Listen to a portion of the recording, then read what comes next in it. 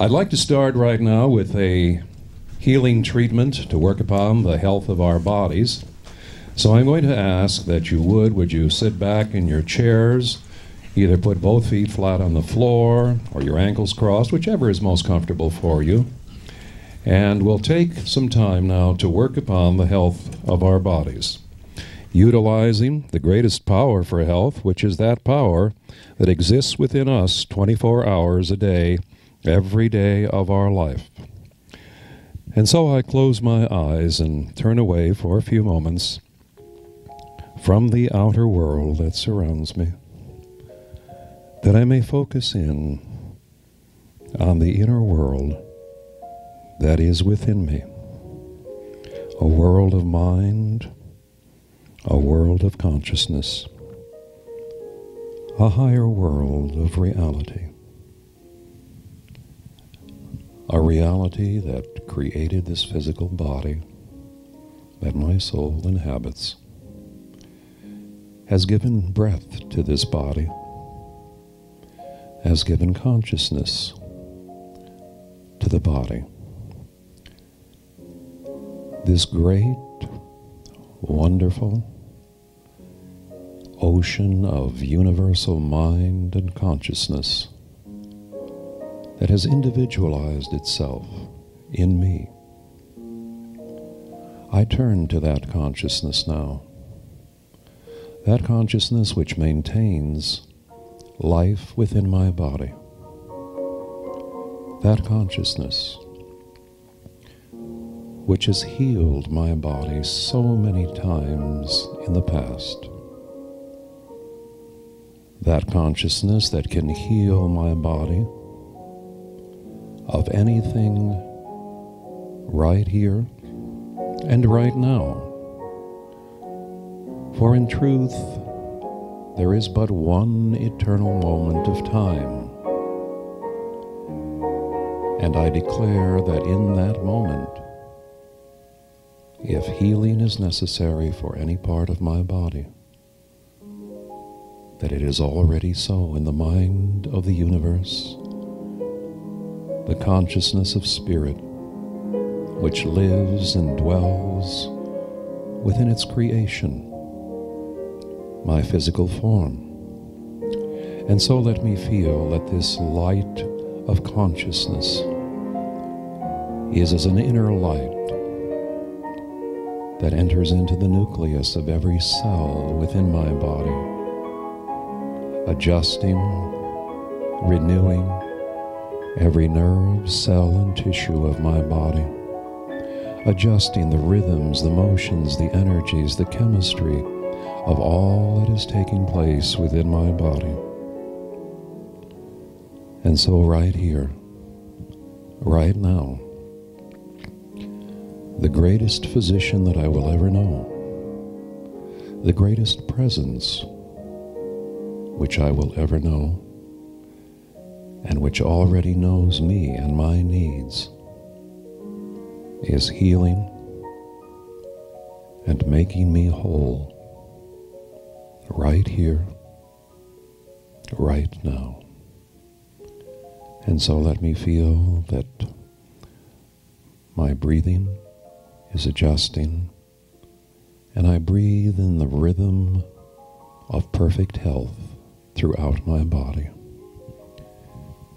and that all activity of energies within my body are in perfect harmony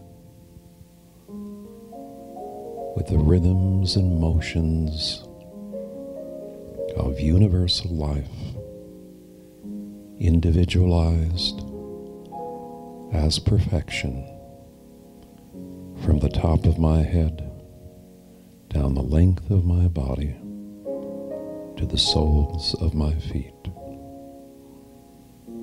That where I am, God is, perfection is, manifesting as health and healing throughout my being. For this realization, this day, and every day of my life. I give thanks. I let God's presence be so, and so it is.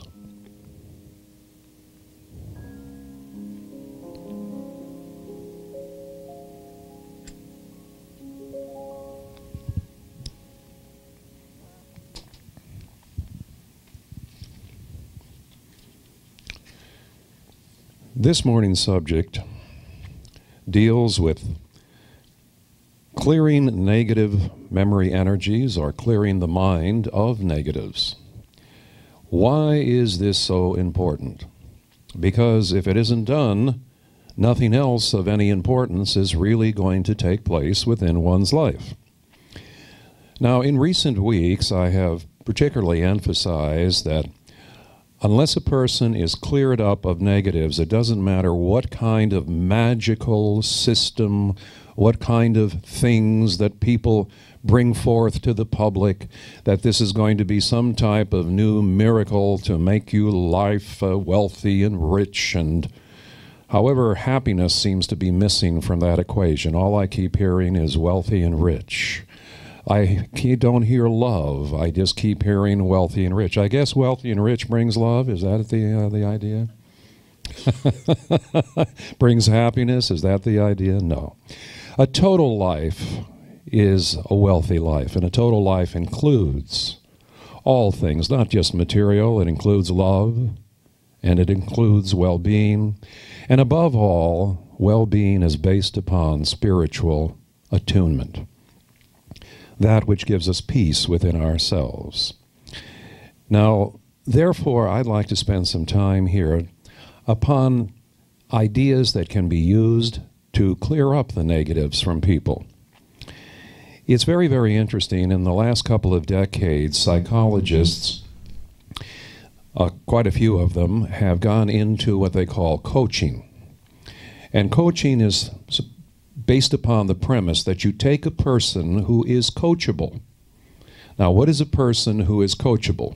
And what is coaching? Coaching really is to place the emphasis upon the individual to be able to be self sufficient, self responsible, and to be able to bring forth the innate power and creativity, or really in spiritual terms, the God from within themselves. So to be able to stand on their own two feet. A coach then doesn't tell a person what to do. They try to encourage the person to bring forth their own innate knowledge of what to do. Now, having said that, people that have been psychologists that will also go into coaching know one particular thing. When a person would come to them for coaching, not psychotherapy, the idea would be is this person coachable? Now, what would be the criteria if a person is coachable? In other words, can this person be brought to a state of mind where they will draw within themselves their own innate creativity and their own innate power? The psychologist recognizes, because of their background, that if this person is filled with negatives, that the negatives will be suppressing the positives that are trying to get out. It is as if God is buried beneath negativity, negative thought energy, and the universal energy that seeks to break forth just doesn't make it because even if a person thinks as positively as possible, even if a person visualizes positive things, this is done on a surface cerebral level. And psychology has rightly estimated that nine tenths of our conscious decision making is based upon what's already in the mind. So, in other words, if you're thinking a positive thought right now about anything in your life, and you carry with you negativity or negative thought energies of the past, they will come up and they will color or come into direct conflict with the idea of the consciousness that is trying to break forth as far as positive consciousness. In other words, it becomes the, the proverbial house divided against itself, as it were. The house divided against itself.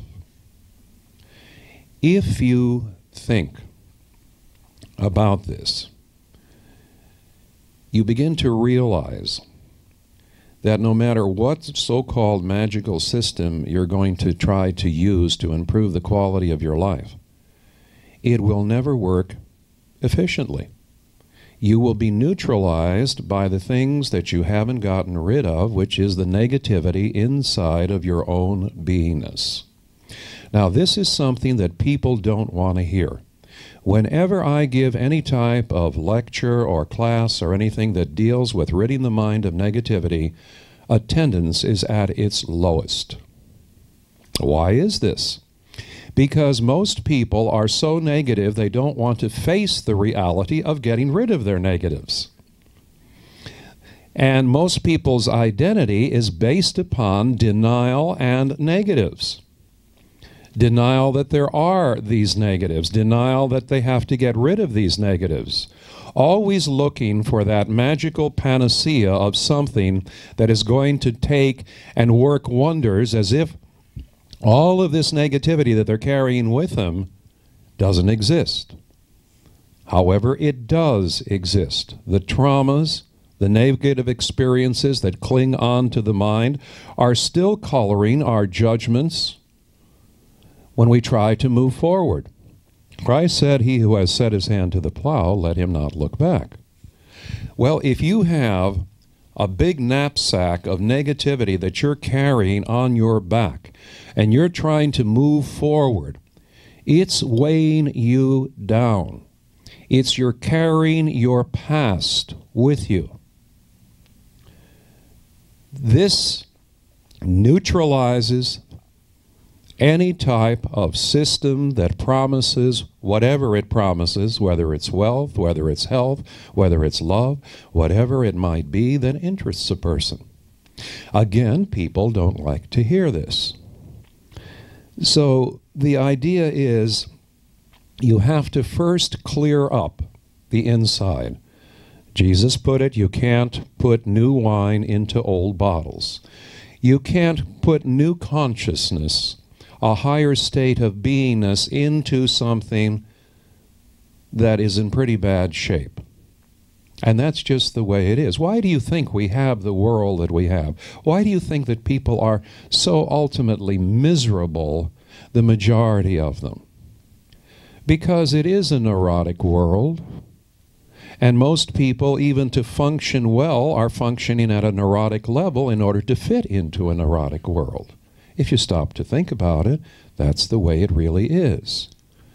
The values of a neurotic world obviously would be a bit distorted. Neurosis doesn't see things as they really are, goes into denial, doesn't want to function with reality. And hence, we have a thing where we have to be rid of this. Now, if I, as an example, opened a monastery, and the monastery, will call it the Monastery of Enlightenment. And the idea was that people that came through the door of this monastery would become very, very wise, very enlightened in the ways of the universe, the mysteries of all that is. At the same time, would achieve some form of mastery over life. And that mastery, of course, would have to be mastery over a sense of personal selfhood. Because the basis of all negativity begins with a sense of personal selfhood. The healing of any negativity comes forth when you're not acting as a personal self, but you're coming forth with a Christ self, a Buddha self, a universal self. Now, if the person came through the door of the monastery, what would be the first thing I would do?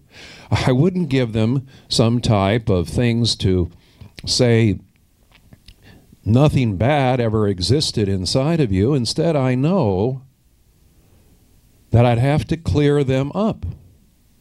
So the first thing I'd have to do is to start to find ways to scrub their psyches, scrub them clean. because I know that if they're seeking enlightenment, if they're seeking a higher way of living and consciousness and creativity, that this consciousness has to break through and has to come forth in spite of this negativity. So clear the negativity. Conversely, we live in a monastery of life. Each day when we awaken, our senses are the doorways into this monastery. The outer senses lead us into the exterior part of the monastery. The interior senses lead us to the interior of the monastery. What we find should be a harmonious flow of life force, energy, and consciousness. Goodness, health, wholeness, and healing emerges from within us. In an exterior world, we may see the complete opposite of that. We may see the denial, we may see the negativity, we may see the delusion and illusion, etc., etc. There were many ways that this was expressed in the New Testament. In probably the most graphic one of the ways that was expressed was the potential stoning of the of the woman that had supposedly committed adultery and Jesus seeing this this old time thing of stoning turned to people and he said which of you is without sin he'll cast the first stone. Basically, that sin dealt with which of you is so clean and so pure of all your neurosis, taking it into modern day terminology, of all of the things that have weakened you, your system, of all of the distortions, of all of the lies, of all of the denials, it doesn't necessarily mean that any of you uh, have, not, have, are free as far as uh, adultery is concerned. Maybe you've had other things, but none of you are are pure to be able to judge anyone. And so, inside of ourselves, we have to recognize that to be rid of these things, not to put us into position to judge anybody, because the moment that we are rid of everything, the only judgment we would take is upon those who, as Jesus did when he went into the temples, take and distort spiritual truth, knowing that spiritual truth is the most valuable thing of all. All right, having said that, let's turn to the affirmations this morning. And for those of you that are watching at home, if you're not on our email list to get these affirmations before each broadcast, by all means, let us know and we'll be happy to send them out to you. Now, the first says cleansing memories, which is what I've been talking about, and the affirmation says, I recognize I must, must is the buzzword here, cleanse my mind at all levels of negative thought energies that work against and come into conflict with positiveness that I both attempt to program into my mind and from within through the universal mind of God. So, what does that mean?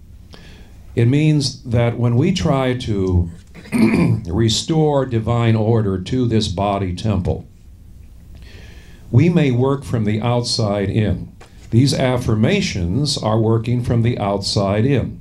In other words, we're giving ourselves something to think about on a conscious level knowing that it will go into the personal subconscious. Now, the personal subconscious has all of our negative memories stored up inside of it. So, we're hoping that these positive thoughts will go in and have some type of neutralizing effect to begin to reprogram our mind. But we know that this isn't enough.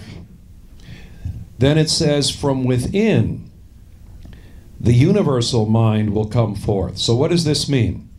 It means that our personal subconscious mind, the memory bank of our mind, which has all of these influences on our conscious thinking and decision making, The personal subconscious will be influenced in two ways. Let's suppose that this, this microphone, for a moment, is our personal subconscious. Above it is our conscious mind trying to feed it. From within, through states of meditation, is the infinite and the universal mind trying to influence it.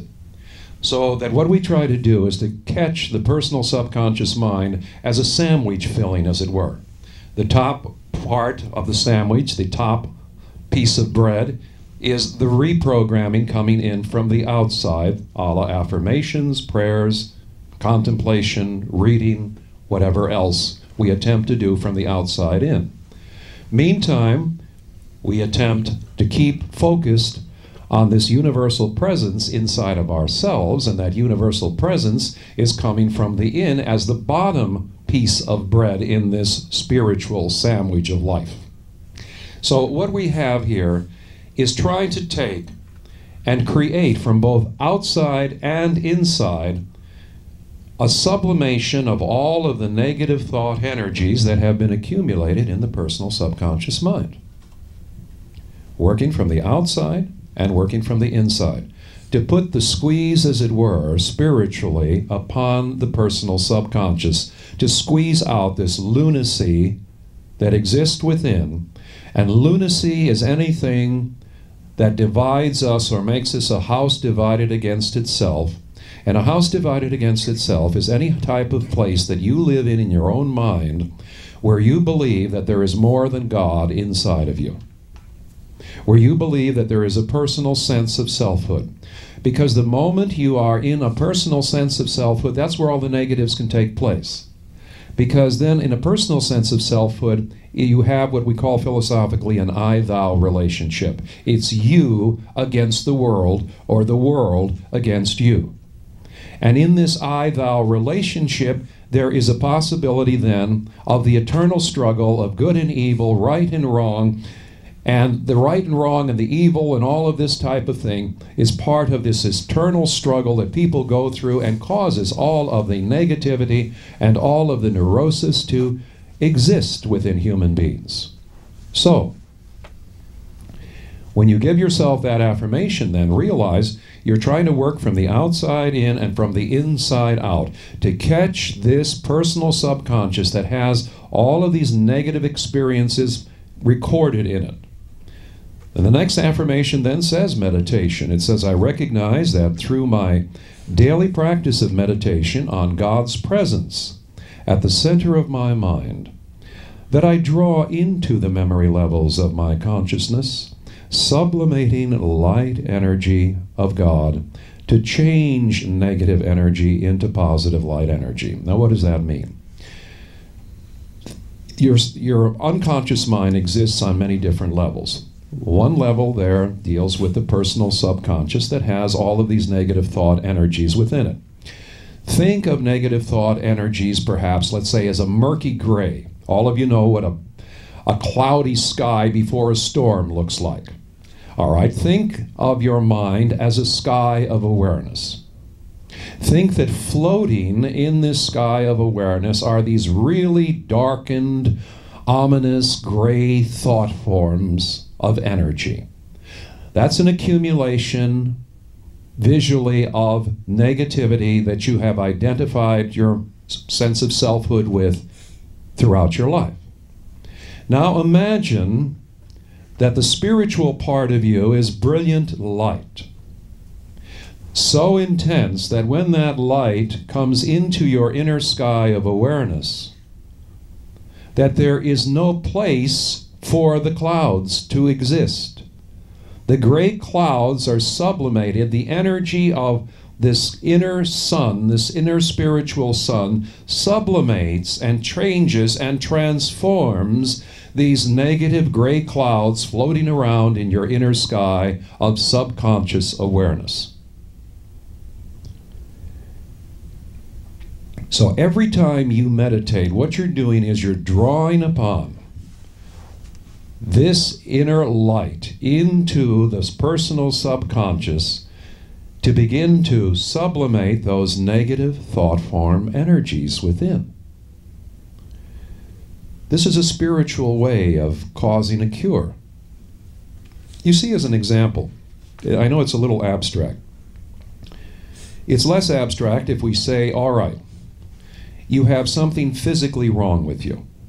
Let's suppose you have an accident and you cut your hand. Now, you know without doing anything that that hand is going to heal. You know that. It's proven, it's healed itself time and again. What is it that's, what intelligence is healing the hand? The very same intelligence that can heal the subconscious mind of the negativity. If this miracle of taking a cut and causing this intelligence to work through the cellular structure of, of your hand or any part of your body can work so effectively without any conscious thought in your mind, then realize that when we meditate, we create an atmosphere there which allows a greater functioning of higher consciousness into the conscious levels of our mind. And as it passes into the conscious level, it has to go through the personal subconscious. As it goes through the personal subconscious, it begins to sublimate those energies. That is why meditation heals. The same energies that heal us when we're not feeling well is the very same energies that can work for us to heal the mind and the consciousness of the person. That's why, when a couple of weeks ago I spoke about total health, and what I said was that total health really begins in the soul or in the spiritual nature within ourselves, which affects our minds, and through our minds, then, our bodies. In essence, then, all healing is really spiritual. And all taking care of negatives really is spiritual ultimately. And as long as we're talking about ultimates, any kind of good that we experience in our lives is not really brought about through anything that we are consciously doing, but rather that we have created a place for the universe to better function through us. In the New Testament it says, I've gone to create I'm going to create a place for you. So we create a Christ like type of surface consciousness that allows the universe to more effectively work through us. Next, it says thought, feeling, and monitoring. I've emphasized, and I think it was last week or the previous week, that the moment you think anything negative, or you think anything, or you feel anything negative, you immediately pounce on it like it's your worst enemy. I mean, just like you would see a scorpion coming across the room and you would immediately pounce on it before it got to you. The same situation. We pounce on negativity. Maybe the word pounce is a really effective word. We jump on it, we give it our all.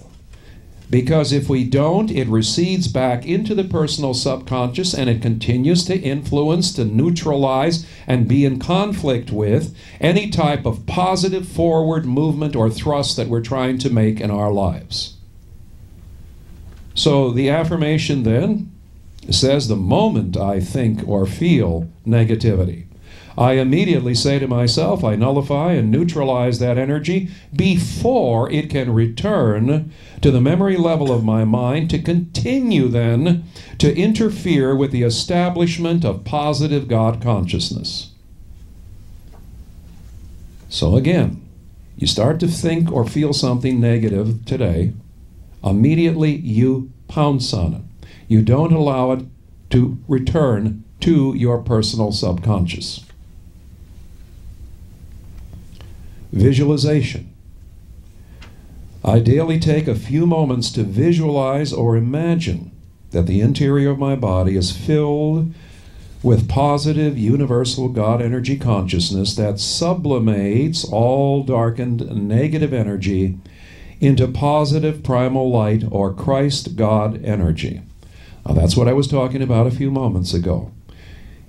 You visualize, you take a few moments each day, and it doesn't take more than a few moments just to simply close your eyes And when you close your eyes, you either, those of you that have the capacity to visualize, visualize that the interior of your body is like a hollow, or you can imagine this, and that light is filling the interior of your body. And consider that the body is a part of the mind, the mind is a part of the body. And what is ever taking place in your mind is taking place in your body. And that in this process, then, you are working effectively to sublimate that negative energy that exists in the personal level of your mind. So, what are we saying here now? Let's recap as far as we've gone. We must clear the negativity to be totally effective and allow positiveness or God energy to work through us. We must. It isn't a matter of so so.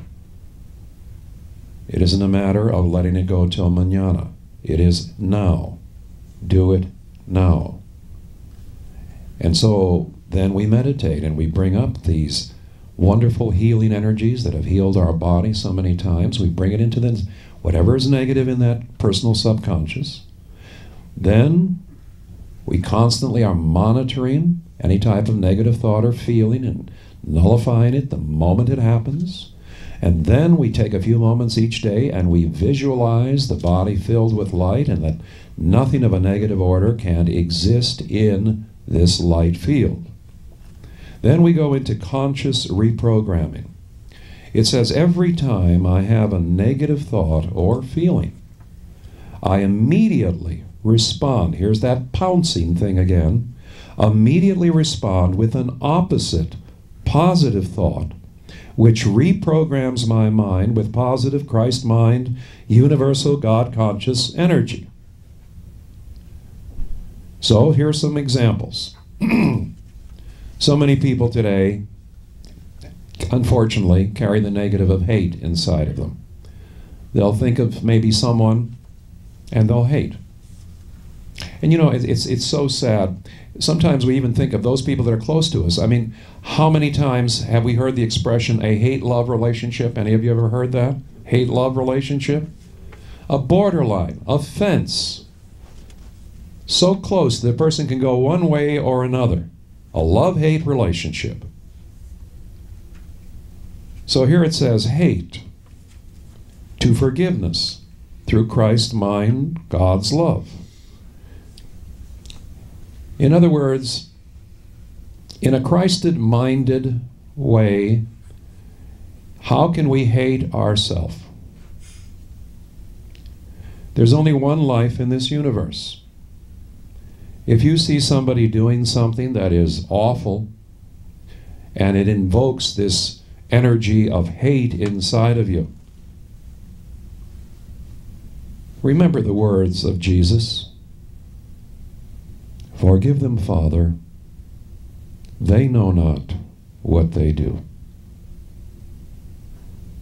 Now, it's hard sometimes when you feel some type of tremendous rage inside of yourself that becomes chronic rage, i.e., hate. But where is you? Where are you coming from? I know people who claim to be very, very spiritual and really are capable of great hate. That isn't spirituality. That's just somebody that's read a lot and hasn't applied much. A person who's read a lot and hasn't applied much. So, this idea of hate, chronic anger, has to be understood in the terms of reality. Reality, we're one life. Why do you think that Jesus took the sins of the world upon himself? Because he knew there was one life in this universe and that everyone he saw in front of him that was supposedly committing some type of sin, everyone he saw in front of him was just another extension of himself. And he knew he would never have peace until all parts of himself were healed, or all expressions of God working in and through him were healed. In sometimes metaphysical terms, we can use the word sin as far as karma. We can use it in terms of errors, misjudgments that we've had in our lives. We can place many, many different types of descriptions upon them. Yet when we come right down to it, it's still based upon that there is one life in this universe, and hence we cannot hate ourselves. To hate someone is to hate an extension of yourself. To have anger, change it to understanding the lack of Christ God awareness in others. We know when people do things wrong, how little awareness they have, how little reverence they have for, for life, because they don't have this understanding that all life is one. All they do is each one waves their own nationalistic flag. Each of them waves their own type of religious symbol. And each one would swear to the death that they're right and everyone else is wrong.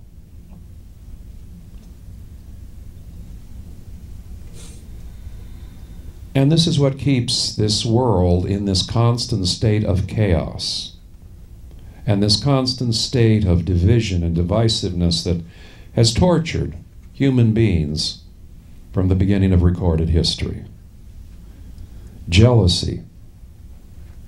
It says, turn jealousy to security in God. Jealousy to security in God. You all hear about people that want to control other people in relationships, as an example. Why do they want to control other people? It's very simple. They're insecure.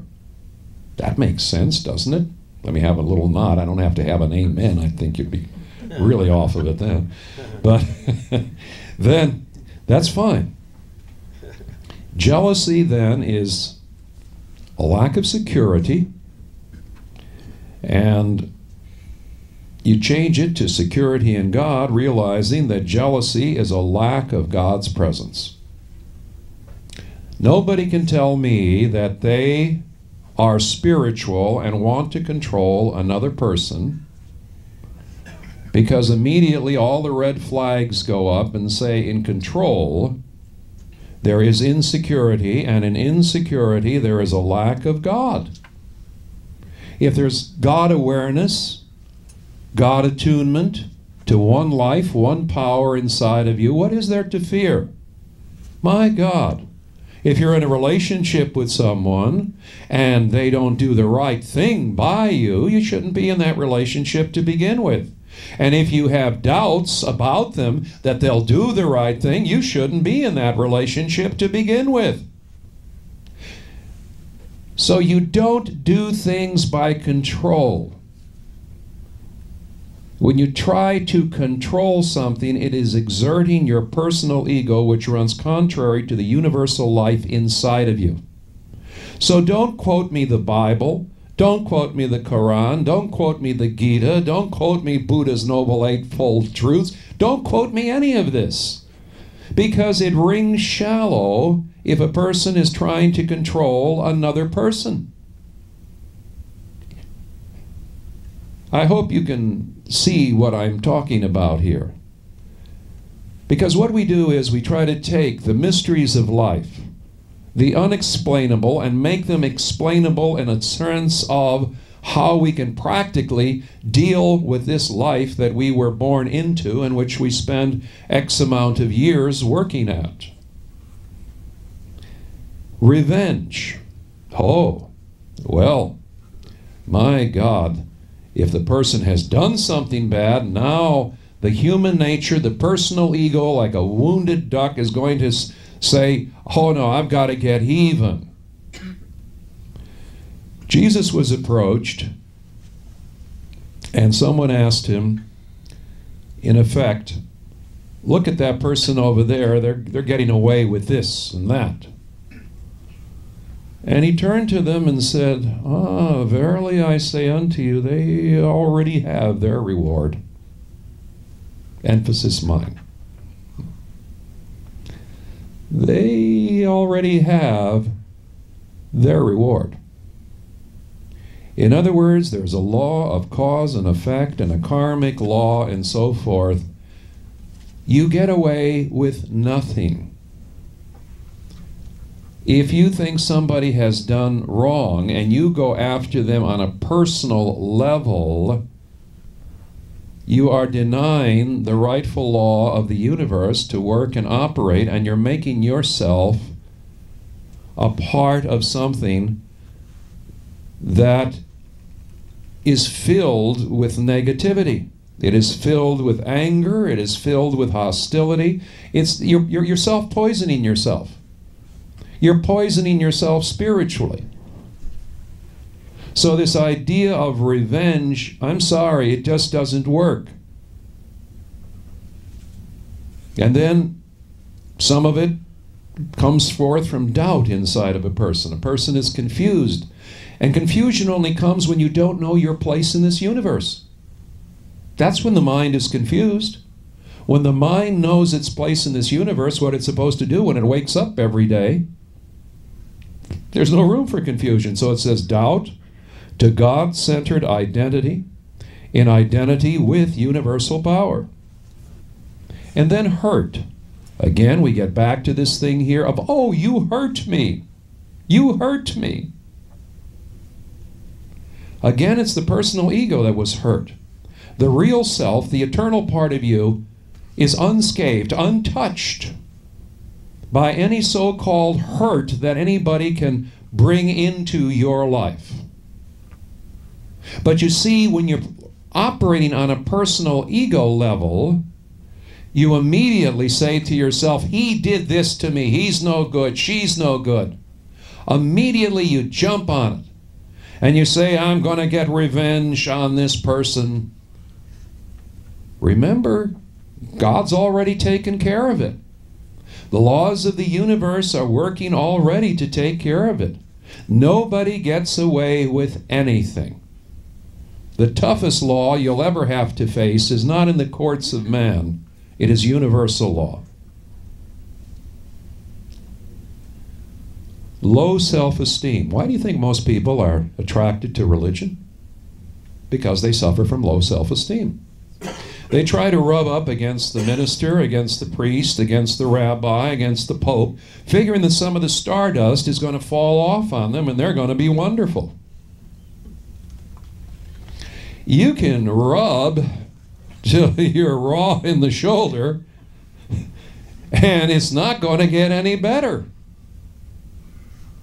So rubbing is out. All right, let's let's establish that right now. Okay. Low self esteem to oneness of identity with God's presence within. Not oneness of identity with a religion, not oneness of identity with any religious figure, but oneness with God. Oh, some of the Christians will say, oh, no, no, no, no, no, no, no, no, no. But Jesus said, no, no, no, no, no, no, don't call me good. I have nothing to do with it. It's not I, but the Father which doeth these good works. So the ultimate Christ teacher gives all credit to God, and the moment that you do, you are cured of low self esteem. It is not I, but God that doeth these good works. So when you get up in the morning and you're heading for work, it isn't I that's heading for work, it's God inside this body, inside this mind, going to work. It's God that punches the time clock, and God that knows that this is a part of what's supposed to take place in this life. And then when the time comes, the God escapes inside of us. It really escapes. And when it has this freedom of not being held down by negativity, wonderful things can happen. And they can happen without really a person even thinking about it because you don't have to think. There is a knowingness of God that takes place inside, and it surges through the body as creative thought processes. It comes out in different ways. It comes out perhaps if a person is a dancer, it comes out where they, they're, all their movements and so forth are so brilliantly smooth and just absolutely perfect on the dance floor. Or it can come out as an example in athletics, where there is this natural surge of the universe.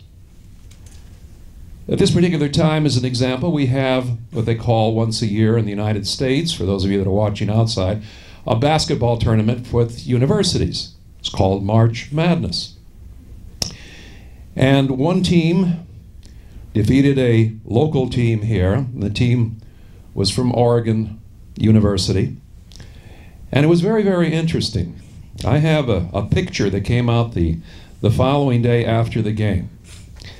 And I'm going to hold it up here and I'm going to ask Sir Patrick, our cameraman, to zoom in on it. Now, what I'm holding up here, you see the fellow in the red uniform, he's looking up there at this guy in the white uniform. Now, the guy in the white uniform turned out to be the star of the game. The guy in the white uniform scored 33 points, which is pretty good at any level high school, college, or pro. Notice where the floor is. Notice where his feet are. Notice the man looking up at him in the red uniform, looking way, way up there, as this person slam dunks this ball into the basket. The star of the game. What makes this unusual, you say? Why should I even point it out? I'm trying to point out the surge of universal life activity can come out in many ways because the person scoring and elevated up almost almost chest high to the fella in the red is five foot six.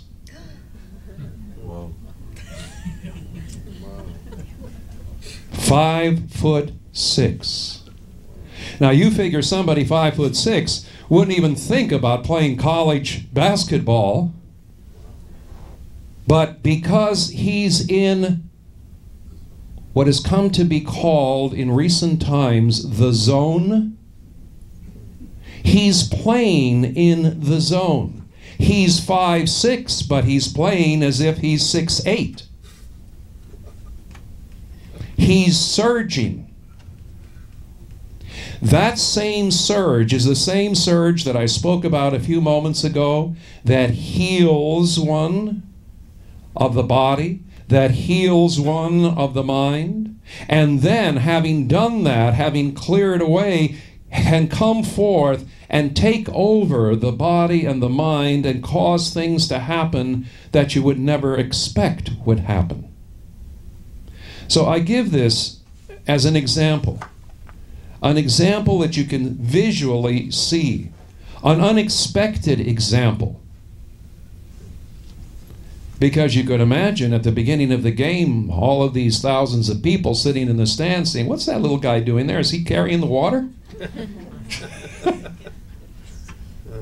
and the little guy at five six is the star. We recall similar thing a few days ago or a few weeks ago where an altruistic boy was put on a high school court and the fans cheered because the coach was giving him a chance to go on the floor. He missed his first shot. But then the next four, all three pointers, which is a good shot for anybody, he made. And so you don't know. When something takes over inside, what I'm saying is that this doesn't have to take place just a few moments in one's lifetime where you shine just for a few moments. It, like neurosis, can become a lifestyle. The zone can become a lifestyle. Think about this. And think about that you are not an exception to the rule. You are the rule when it comes to the universe because you are as equal to any great mind, consciousness, personality, and history that has ever lived. But never look up to anyone, only look into yourself. The moment you look up to anyone to tell you what to do, you're denying the God inside of you, which knows what you should do big, major difference. entirely different way to, to go through life. And so next it says lifestyle.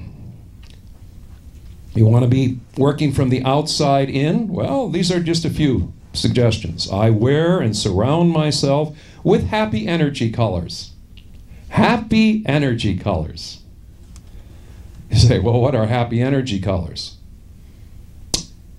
Well, let's take a bright red as an example, a bright orange. Think to yourself, when is the last time you saw a person in deep depression wearing bright colors? I want you to think about this. Because the person, because they are depressed, are more prone to reach for colors that are not what I call happy colors. Murky browns, murky grays, you know, there are nice grays and there are, are nice browns. But we're talking about murky, murky stuff. So every color is an energy, and it can be a positive energy or a negative energy. You're wearing it close to this body energy field, and so you can affect from the outside in.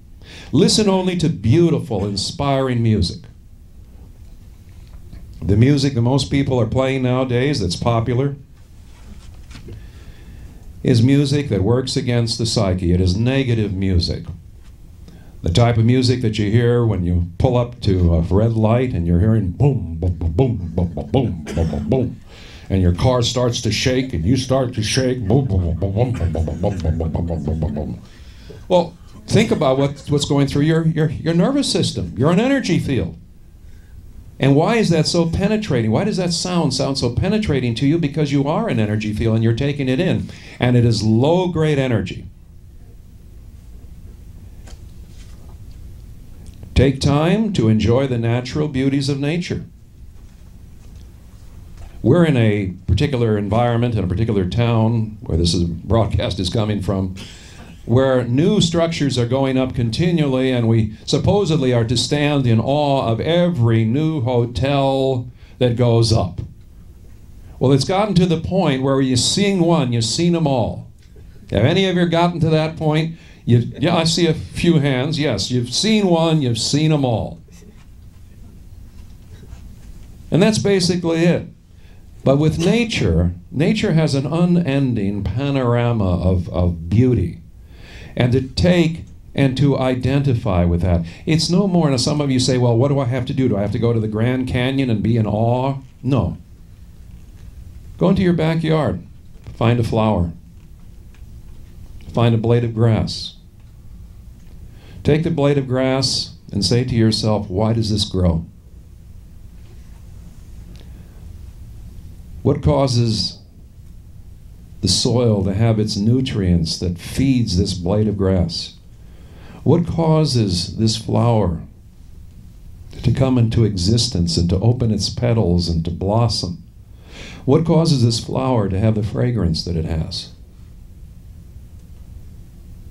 In other words, you begin to lock into why a thing even exists. It's a part of nature and it has to it can be no more than a simple blade of grass. It doesn't have to be Niagara Falls, it doesn't have to be the Grand Canyon.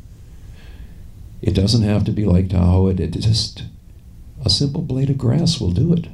If you're tuned in, a flower will do it.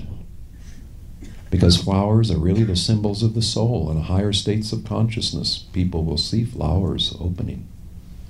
Hence, all of the things in the East about the lotus flower and so forth, which becomes a symbolized version of something that somebody sees in a higher state of consciousness when they are in a really tremendous state of awareness. And then it says, and to try to find the brighter positive side of experiences that appear to be negative constantly you're going to have experiences that appear to be negative on the surface.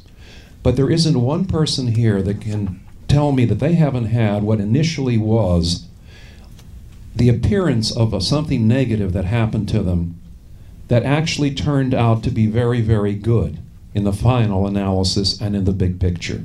How many of you here, just let me see by a show of hands? All right, most of you have had this. So we do not want to identify with the experiences, which is the next thing here as far in the final affirmation for today. It says, I do not identify my identity with any temporary negative experience, as I am not anything temporary. Catch that? As I am not anything temporary. See, if you're a personal self, you're temporary. So the natural reaction is to identify your sense of identity with a temporary experience, and a temporary experience sets up this neurosis, and all the neurosis sets up is the negativities. So instead, I am not anything temporary. You're an eternal being. That's what you are. You've been here before your body, this present body, was. You will be here long after this present body is no longer. But I am an eternal positiveness and Christ like mind of universal consciousness in which negativeness and negative darkness ceases to be. Negative darkness ceases to be. Now let's take a few moments to sit back in our chairs, put both feet flat on the floor, our ankles crossed, whichever is most comfortable for you. And let's take a few moments to go into ourselves, into that contact point of Christ like mind and consciousness within. I close my eyes and I turn inward. I turn inward to that higher consciousness of mind and universal life that dwells within me here now. I move my outer senses and turn them inward, that the energies that I use for outer sight and sound, taste, sensing, smelling is turned inward, that I may begin to sense with the energy that I normally use outwardly now turned inwardly to begin to sense and to feel the higher reality that lives in me and I in it. For I exist in the mind of God, and the mind of God exists in me. I am part of eternal, infinite process that is called life. I am an individualized expression of universal life. And I turn inward to this life. I turn inward that I may be one with this presence which is as a light that is within me and yet extends infinitely in all directions beyond my physical body and presence that the great I am of me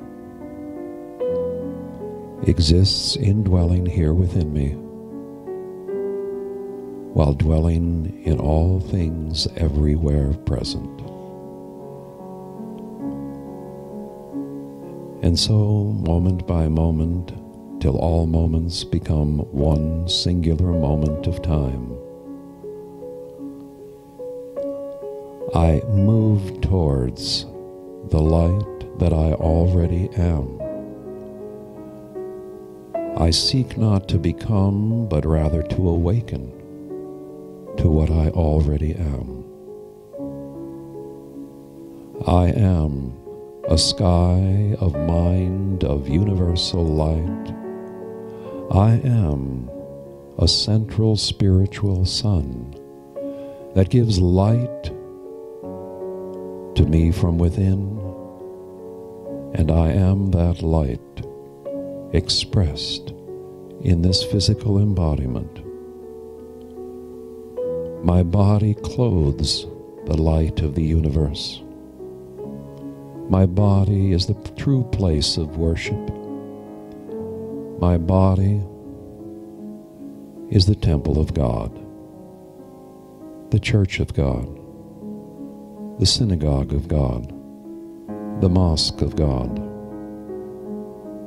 I am all things, and all things are a part of me. I am in eternal state of oneness and unity. And in absolute unity I am joined with all things, and joined with all things there is love, for ultimate love is joining in an absolute presence with which I am one. Here now. And for a few moments I rest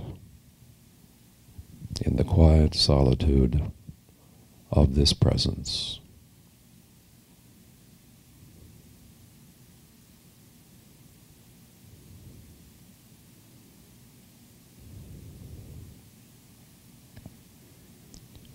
I feel it. I exist in the light. The light fills the entirety of my body on a spiritual God level. And though in a few moments I'll open my senses once again to the world around me, I will continue to feel, to sense, and to be one with the light of universal consciousness, the creative process that is the creator of all things, thus God. And so very slowly now I'll begin to open my eyes but retain that sense of inner identification. And as I open my eyes ever so slowly, I'll stretch my arms and hands high over my head in a symbolic gesture of always reaching for something higher in my life, knowing that that something higher that I reach for is to be found in the height of who and what I truly am within myself, a living, breathing manifestation of the stars of the heavens of universal life, having taken image, shape, form, and embodiment, and I bring down my hands, resting in this absolute security that I am that which I am, letting it be so throughout my being, and so it is.